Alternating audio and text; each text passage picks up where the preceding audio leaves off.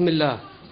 اليوم يوم الأحد 11 3 2012 أهالي حي دير بعلبة الربيع العربي يستقبلون أه- إخوانهم النازحين من الأحياء الثانية التي قصفها نظام بشار الأسد وشرد الأهالي من بيوتهم مما أدى إلى إصابة, إصابة العديد من أهالي الحي ونزحوا من جميع أحياء من إلى جميع أحياء حمص.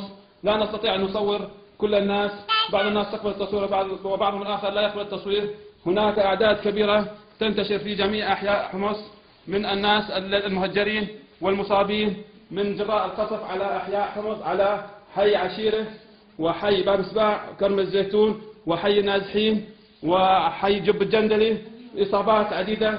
من الناس من استطاع أن يخرج من بيوتهم والآخرين لم يستطيعوا أن يخرجوا. هذه حالنا في حمص. هذه حالنا في حمص. يا أيها العالم انظر إلى حالنا انظر إلى ما, ما توصلنا إليه. هذه المرأة العجوز مصابة في سريرها من جراء القصف بقذائف الهواء على حي عشيرة.